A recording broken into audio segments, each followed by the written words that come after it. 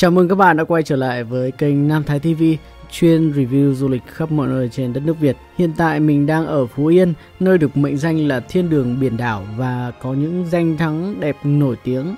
Trong video này mình xin được mời các bạn đến một địa danh đã từng được công nhận là cực đông của Việt Nam hay nơi đón ánh sáng bình minh đầu tiên trong cả nước. Chắc chắn nhiều bạn sẽ thắc mắc hỏi tại sao lại là đã từng đúng không? Vậy mời cả nhà theo mình chúng ta sẽ đi tìm câu trả lời và cùng nhau khám phá những điều thú vị liên quan đến ngọn hải đăng mũi đại lãnh này nhé. Đứng ở trên con đèo này chúng ta có thể nhìn thấy phía xa xa kia chính là mũi Đại Lãnh. Mũi Đại Lãnh hay còn biết đến với cái tên là mũi Điện là một mũi đất nhô ra biển từ một nhánh của dãy Trường Sơn. Nó hướng thẳng ra bãi môn thuộc địa phận Hòa Tâm, Đồng Hòa, tỉnh Phú Yên, cách thành phố Tuy Hòa 35 km về phía đông nam. Nằm cạnh nó còn có một số địa danh du lịch khác như là Vũng Rô hay huyền thoại tàu không số. Bên trên là đèo cả hùng vĩ, bên dưới là một bãi môn thơ mộng hình lưỡi liềm. Mũi đất này được một vị tướng người Pháp có tên là Varola phát hiện ra và đặt với cái tên của ông. Đó là trên bản đồ cũ, còn hiện nay thì chúng ta gọi là mũi điện hay mũi đại lãnh. Khi các bạn đến đây thì chỉ cần mất 10.000 tiền vé trên một người, bạn có thể gửi xe ở ngay nhà chú 10, ngôi nhà duy nhất ở khu vực mũi điện này, cũng là nơi các bạn có thể đặt ăn uống sau khi tham quan. Ở đây có đặc sản là cua huỳnh đế, cá mực và tôm cá rất là tươi ngon. Đó là một số gợi ý về thực đơn cho các bạn. Hello anh em, hiện tại thì mình đang ở cổng vào của bãi nôm và à bãi môn. Và các bạn có thể nhìn thấy đây. Ở trên này có sẽ có hai đường đi, một cho các bạn vào cổng thẳng cổng ngay chỗ cái xe ô tô đỏ kia có một đường rẽ phải lên phía bên trên này kìa. Đó. Đó là một đường. Còn một đường nữa là chúng ta có thể đi thẳng ra ngoài biển và ở ngoài đó có một con đường kia. Chúng ta sẽ đi đường kia. Đi ra đến chân bậc thang, đi leo thẳng đến trên kia.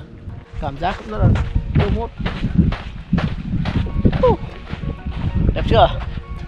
Quá đẹp chưa cảm giác mình đi đường này cảm giác đi nhanh hơn. Thường thì mọi người đến đây sẽ được hướng dẫn là đi theo bên kia nếu có người ta leo núi thì phải đi vòng vòng vòng vòng trên kia. Để đến với ngọn hải đăng, chúng ta có hai lựa chọn. Một là các bạn đi theo con đường bê tông, có nhiều bậc thang dốc và thoải, dễ bước, nhưng rất xa và phải leo dốc để lên đến ngọn hải đăng. Có một lựa chọn khác là các bạn sẽ đi như mình chúng ta sẽ đi ra bãi môn, rồi vượt qua những cái bậc cầu thang có phần dốc hơn cái con đường thoải ở bên kia để đến với ngọn hải đăng một cách nhanh hơn. Cách này thì phù hợp với lại những người trẻ có xài bước rộng có thể đến bước lên những cái bậc thang cao hơn một chút một chút thôi so với bên kia. Bây giờ thì mời các bạn theo chân mình nhé chúng ta sẽ cùng chiêm ngưỡng bãi môn, sau đó thì chúng ta sẽ đến với ngọn hải đăng mũi đại lãnh. Ở đây thì có một số bạn trẻ đang cắm trại nghỉ ngơi ăn đồ nướng với nhau. Có hai điều mà các bạn cần chú ý khi đi đến khu vực này. Thứ nhất biển bãi môn là một bãi biển đẹp. Tuy nhiên dòng chảy ở đây rất phức tạp nước cũng rất là sâu nên nó không được phù hợp cho việc tắm cho lắm đâu nhá. Đó chúng ta đã vừa đi được một đoạn rất là xa rồi đấy. Bây giờ chúng ta bắt đầu trên con đường đến với ngọn hải đăng leo bậc thang. Cũng khá là thoải không dốc như mọi người nói lẽ là chưa đến đoạn dốc. Vấn đề thứ hai các bạn có thể nhìn lên các vách núi ở đây. Nó có rất nhiều những viên đá và không có gì đảm bảo rằng chúng có thể giữ chặt ở trên những ngọn núi này. Và một số viên đã được trẻ ra để ờ, tránh tình trạng rơi. Tuy nhiên thì nó vẫn rất là nguy hiểm. Các bạn cần chú ý nhé.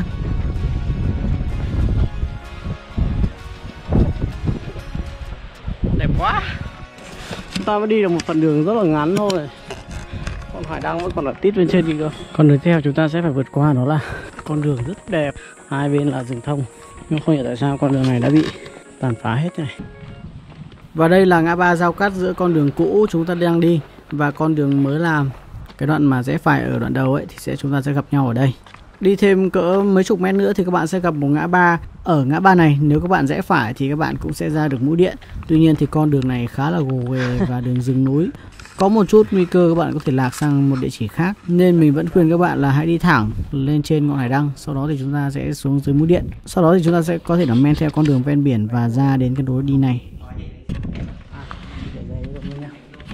À,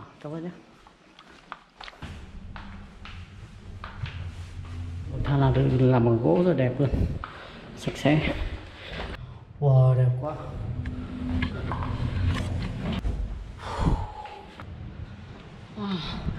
Kia chính là bãi moon của chúng ta? Nơi có một cồn cát.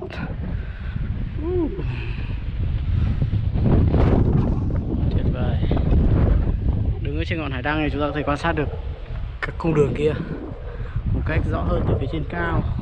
Hải đăng Mũi Điện là một trong 45 ngọn hải đăng cấp quốc gia của Việt Nam. Nó được xây dựng vào năm 1890, cao 26,5 m so với nền nhà ở phía bên dưới kia và cao 110 m so với mặt nước biển. Và ánh đèn của ngọn hải đăng này có thể chiếu xa đến 27 hải lý, tức 50 km cơ đấy. Đứng ở đây chúng ta có thể quan sát xuống dưới kia, nhìn thẳng xuống mũi điện, nơi có một tấm bia đá ghi nhận rằng địa danh này đã từng là cực đông của tổ quốc ta. Ở phía bên dưới kia cũng rất đẹp. Bây giờ thì mời các bạn theo chân mình chúng ta sẽ cùng xuống dưới nhé.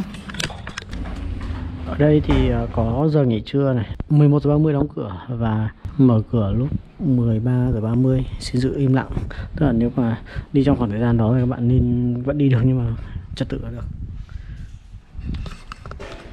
Còn ở đây thì mình thấy có bán rất là nhiều đồ ăn cũng như là nước chấm này, nước ngọt này đều có giá ở đây hết này. Đấy, giá rất là phải chăng không? Bị đắt đâu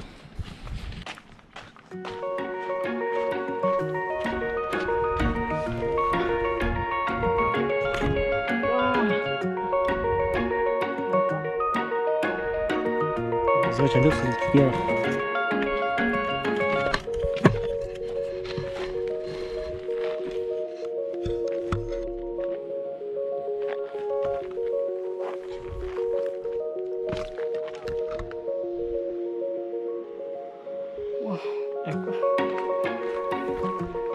Phải làm sao bây giờ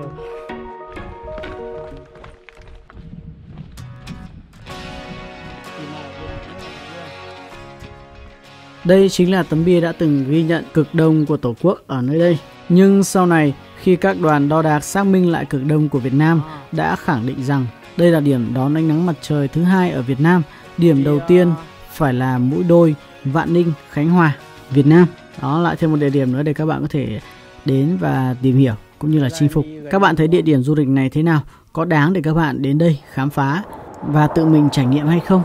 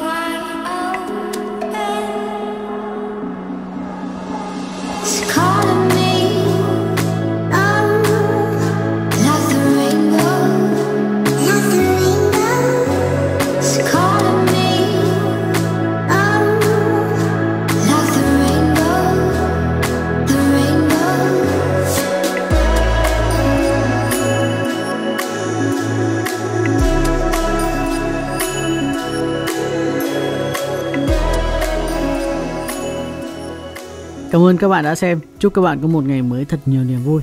Nếu các bạn thấy hay thì có thể cho mình xin một nút like, một nút đăng ký và chia sẻ video đến để cho nhiều người khác có thể biết đến cảnh đẹp của địa phương này hơn nhé. Cảm ơn và hẹn gặp lại các bạn ở những video tiếp theo ở bên đây nhé. Bye bye. À, lúc nãy thì chúng ta xuống ở đường bên ngọn hải đăng kia và bây giờ mình sẽ thử đưa các bạn một con đường khác. Đây là cái con đường mà ở chỗ ngã ba ấy. Chỉ có một con đường xuống, hợp mình nghĩ nó xuống hợp lý hơn nữa. Đường này có vẻ không bằng phẳng như cái đường kia. Nhưng cái đó nó thoải lắm.